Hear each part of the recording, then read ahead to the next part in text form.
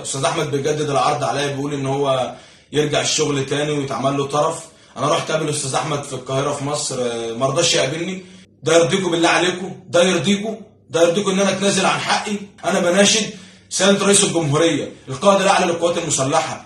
السلام عليكم اصدقائي المحترمين. أهلا وسهلا بيكم. حلقة جديدة مع منعم. نبدأ كلامنا بالصلاة على النبي محمد والحمد لله يعني إحنا بقالنا فترة الحلقات اللي بنطلع بيها كلها بتبقى أخبار سل يعني سيئة كده أو أخبار سلبية شوية.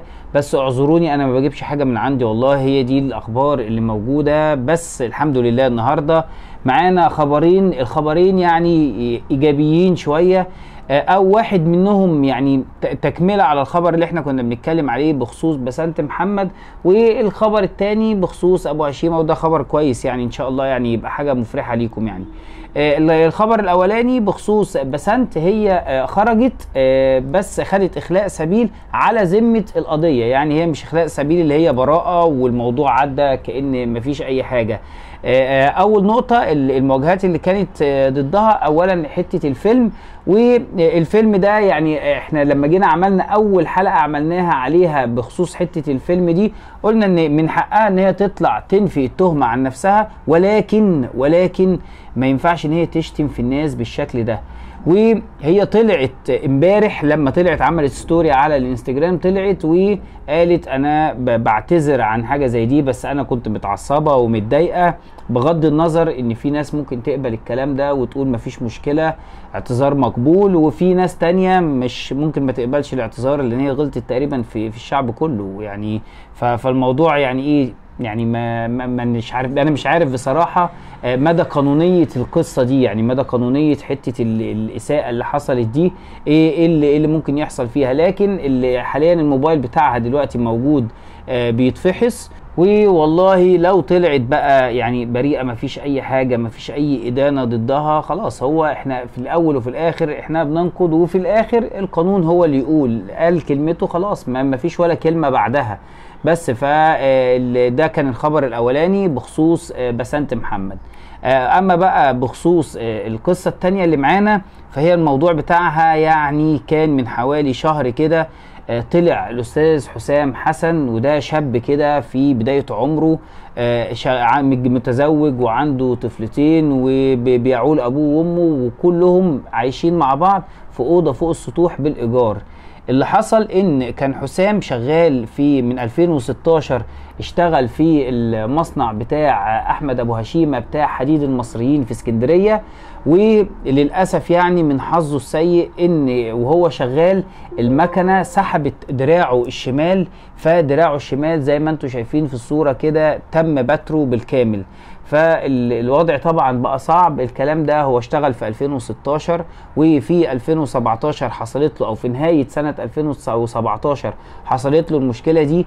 ومن ساعتها وهو عمال ياخد في وعود من آه، شركة أحمد أبو هشيمة عشان خاطر إن هم يقدروا يعوضوه أو يركب طرف صناعي آه، أو آه، يلاقوا حل معاه إن هو يبقى ليه حاجة يقتات منها أو يعيش منها.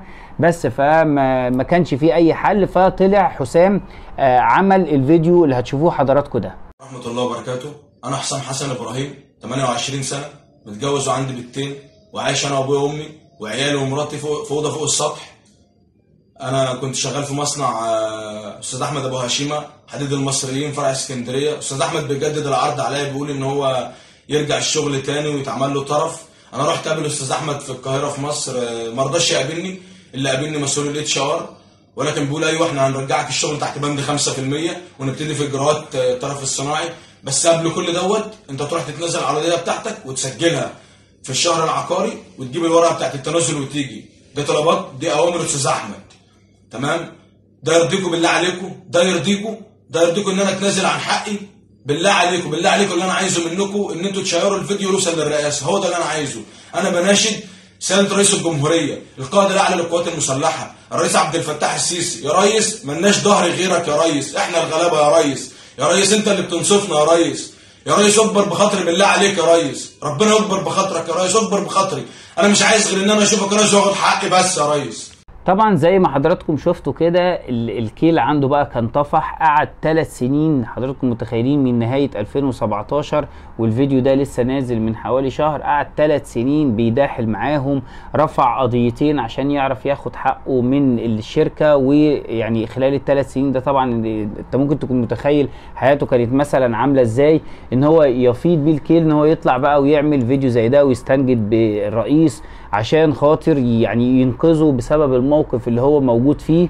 وكمان إن هم كانوا عايزينه يتنازل. ما هو لما هيتنازل عن القضية خلاص يعني هو كان رافع قضيتين خسر واحدة منهم. ما تعرفش بقى بسبب آه إن هو إن الشركة نفسها كان معاها حق أو بسبب شطارة ال- المحامين اللي موجودين هناك.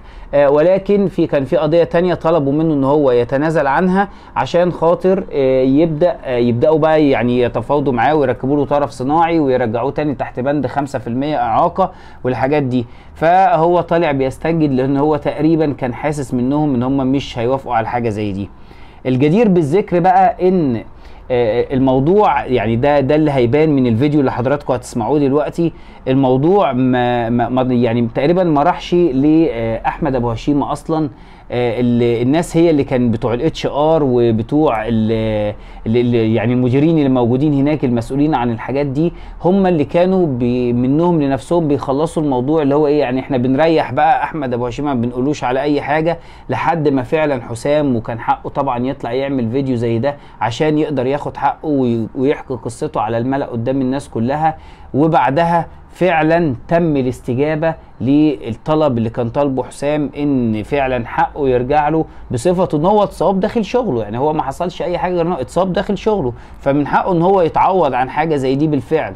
طيب حضرتك ليه أنا بقول إن تقريبا أحمد أبو هشيمة ما كانش يعرف حاجة عن الموضوع؟ لأن هو طلع من حوالي يعني أسبوعين ثلاثة كده يبرر الموضوع ده ويقول إن هو آه، تواصل مع الم- المديرين أو المسؤولين عنده في الفرع عشان خاطر يفهم منهم القصة. وقالوا له إن هم ما قصروش معاه في حاجة وعرضوا عليه آه، ال- الشغل بما يناسب حالته الصحيه وكمان عرضوا آه، إن هم يركبوا له طرف صناعي وهو اللي ما استجابش و- ورفع قضية والكلام ده.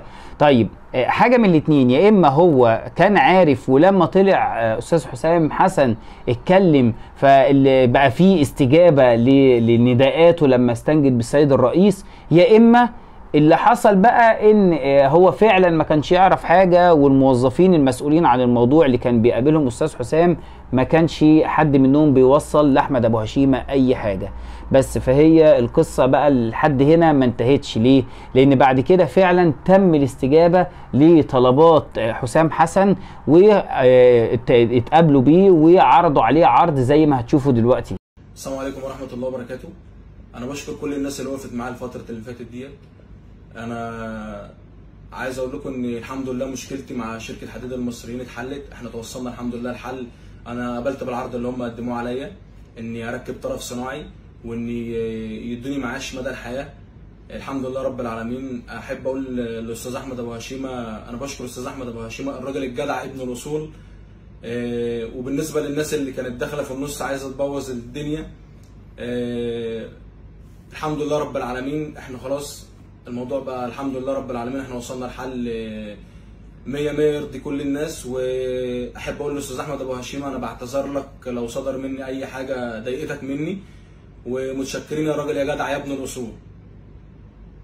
فطبعا يعني الواحد فرحان بس لفرحة حسام يعني عموما آه، بسبب إن هو يعني خلاص الحمد لله كده ابتدى يطمن إن هو بقى يجيله معاش مدى الحياة.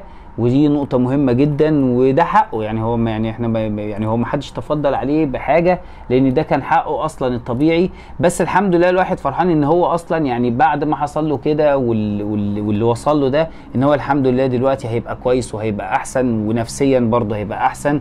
ومن ناحية تانية كمان إن فعلا النداء اللي هو كان آه، نادى بيه جاب نتيجة وجاب نتيجة إيجابية كمان وتم الاستماع لصوته وهيتركب له إن شاء الله طرف صناعي. فدي حاجة كويسة قوي يعني وحاجة إيجابية جدا. وبالمناسبة برضو أنا عايز أقول إن اللي, عرض عليا الموضوع ده اللي فكرني يعني بالقصة دي وقال لي حصل حاجة جديدة فيها. كان أستاذ سيد صاحب قناة حكايات مع سيد و بأمانة يعني كان فعلا حاجة إيجابية قوي. وحاجة كويسة جدا إن دي تحصل الحمد لله والنهارده ما معناش خبر وحش يعني آه الأخبار كلها إيجابية عشان الناس اللي بتقعد تتضايق قوي من الأخبار بتاعتنا مع إن والله أنا ما بجيبش أي حاجة من عندي هي بس ده اللي موجود فمعلش اعذروني يعني بس ويا رب تبقى أخبارنا كلها كده حاجات كلها كويسة وإصلاح في إصلاح لأن البلد الحمد لله إن شاء الله في اللي جاي هتبقى أحسن وأحسن. ولحد هنا انتهت الحلقة بتاعتنا وكان معاكم منعم والسلام عليكم ورحمة الله وبركاته.